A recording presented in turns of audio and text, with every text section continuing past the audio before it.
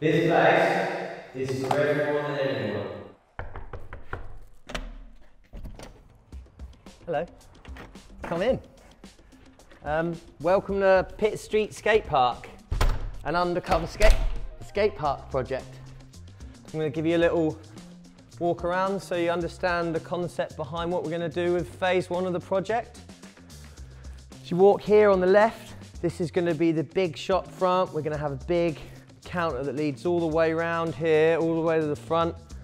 General back offices, that's where you'll be able to rent roller boots, etc. Then here, we're gonna have some turnstiles. We go back on ourselves a little bit, welcome to the canteen. This is where you'll come get some food, coffee, whatever you want.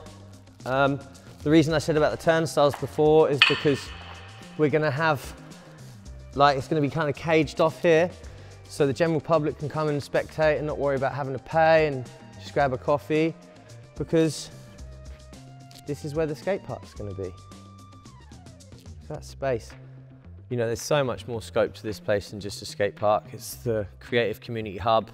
A large part of that will come into phase two, which is upstairs, but we'll talk about that later. But right now, there'll be different sessions, mixed sessions, you know, beginners, over 40s, whatever, you know, if people want to get in and learn, they come in and give it a go.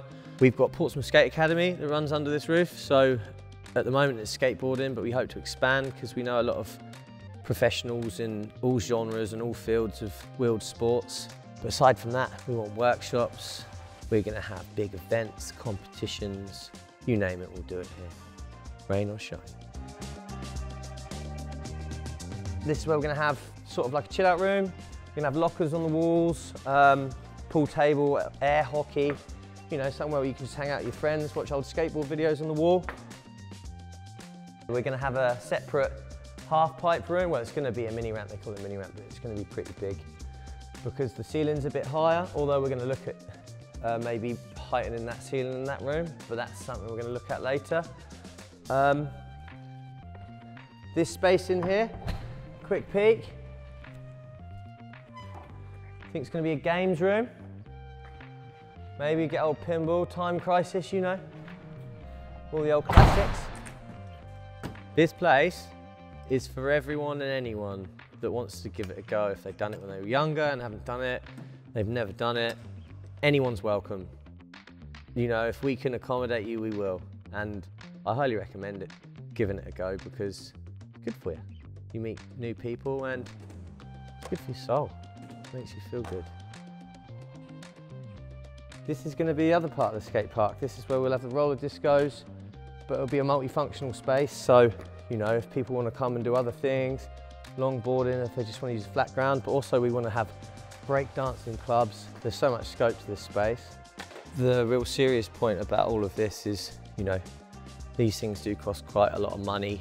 Um, we're working really, really hard trying to find other pots, but you know, it's quite a gargantuan project. So the more little pots we can put together, we can gain the big pot. We've got a lot of awesome rewards to give away. So if you have a little look at the list on the bottom afterwards, there's loads of ways you guys can get involved and help us achieve our goal. We're doing something that's never happened in this city before. We are actually making history. And wouldn't it be nice if you could help make a bit of that history, hey?